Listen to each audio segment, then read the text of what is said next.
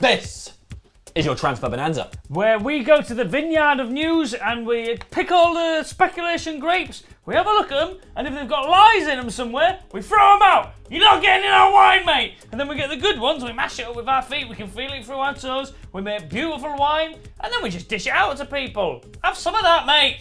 Yeah, we find out what's going on with transfer rumours over the last week and work out what's true, which is generally none of it. So let's start at the back Ian. Patrice Evra. He has signed a one-year contract extension. I reckon he's got five years left in him. He is going to be a red for the rest of his life. If anything happens to him, I'm going to kill myself.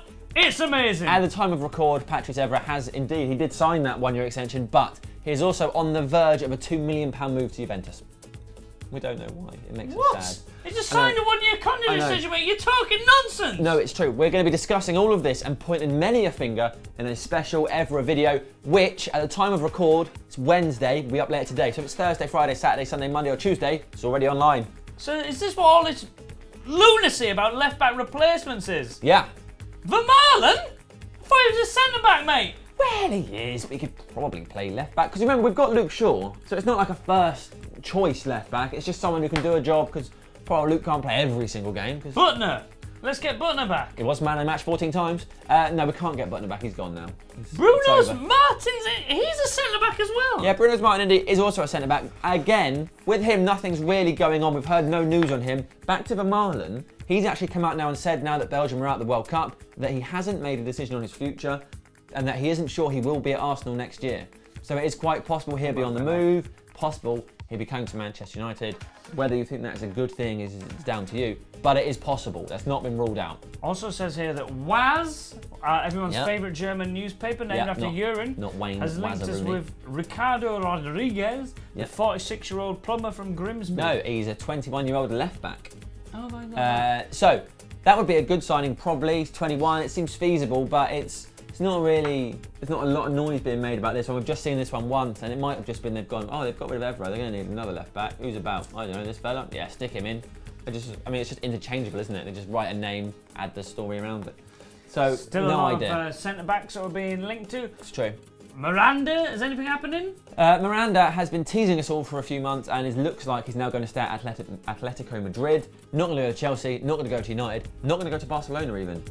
That's what it looks like right now from my periscope. Good news on the old Hummels front because we have an exclusive from the Daily Star, one of the most trusted newspapers in the British Mm. Isles, and it says that United are stepping up their pursuit of Hummels. Ooh, stepping up. Stepping it up. That is serious. so previously they're interested, now they've called him up and said, Oh, you know that Hummels?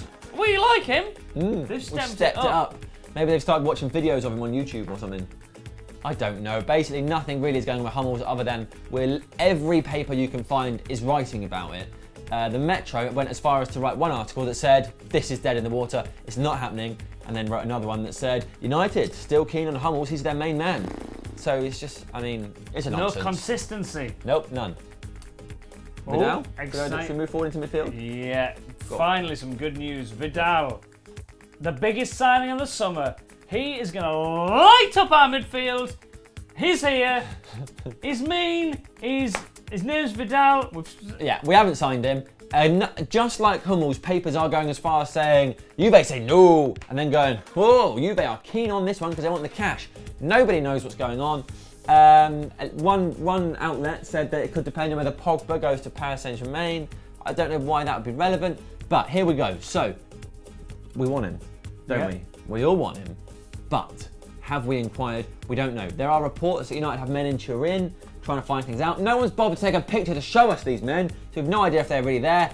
And this is what I'm thinking: Evra, if he's going to go to Juve, we've clearly spoken to Juve. So you'd think during that conversation, someone would have just gone, like Edward was just gone.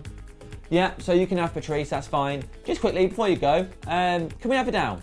Just as simple as that. That's how we got Cantona. Just ask a question, just go, can we have him? And they went, yeah, million pound. And we signed him. But now just go, can we have him? Stop, stop all this. Oh, do you think we should ask him? Just ask him, then you know where you are. It's like a 10 year old at a date asking a girl to dance. They're just a bit down, scared of rejection. we've been linked to a few more midfielders who we probably won't get. Di Maria. Uh, yeah, allegedly, Di Maria has a choice between going to the historic, traditional, beautiful wonderful football club that is Manchester United or to the well-married Paris Saint-Germain. So where he chooses to go, I've no idea. Depends if he wants beautiful football or, or if he wants money, Champions League and Zlatan Ibrahimovic and. Three terrible So we don't know. like any yeah, of them. could could go to either club. Uh, it seems likely that he'll move though, because uh, James Rodriguez of Colombia World Cup fame uh, looks like he's going to Real Madrid. We should sign him. Yeah, we should, but he doesn't want to come here. By his own admission, couldn't do it on a cold Tuesday night in Stoke. Says the Premier League Put a jumper on. too physical for him. It's not necessarily the cold. It's just he's not really he doesn't fancy it in England. Wants to go to the warmer climates of Spain. Someone who is name. used to the cold, Memphis Depay. It's been quite cold. P- uh, PSV, At winter, certainly. but big development from that front. Yeah. Uh, PSV have come out and publicly said we haven't heard anything. Yeah. But- no one's got in touch. So that's that. Yeah, you know what I think that means? Yeah. That means they look at the papers and gone, oh, look what it says here. United after Depay, Barcelona after Depay, 30 million pounds. Well, I haven't heard anything. Have you heard anything? No. Oh, I've not heard anything. What? Hey, you know all this? We haven't, no one's actually told us about this. We haven't heard anything about this 30 million pounds. It's not like they've gone, we haven't heard anything. He's our player, and this is disrespectful, frankly. They are down, keen mate. on a sale, in my mind. Someone I'm keen on a sale of, Fellaini. Fellaini has lit up the World Cup, mate. As you know, he scored one goal.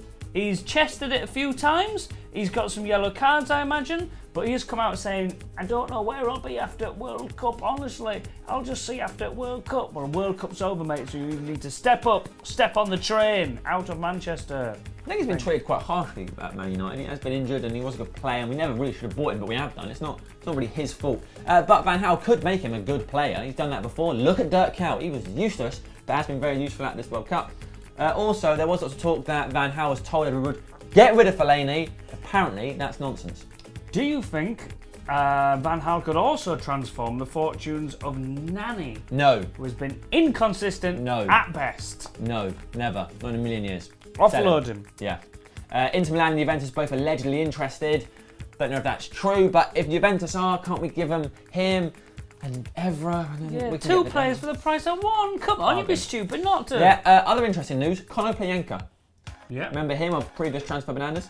Uh, so he has been subjected to a bid from West Ham, of all teams. no, West Ham, mate. no disrespect to West Ham, they're from the inside. No, no, one of the no disrespect. I mean, Good one. Okay. If he's good enough for West Ham, he's not good enough for us. And big news, I didn't tell you about this one because I wanted on. to surprise you. okay. A lot of the big boys missed this one, but not the Exeter Express and Echo. Ooh. Always has its finger on the pulse. We could be, hmm. apparently, see what you think of this, Go on. signing Ooh. Valdés. Victor, Yeah, why? Victor Valdés, competition to De Gea, apparently. Never going to happen, is it? Good luck, the Exeter Express and Echo, but that's obviously nonsense. And that is a good way to wrap up this transfer bonanza, because it's all nonsense, really, isn't it?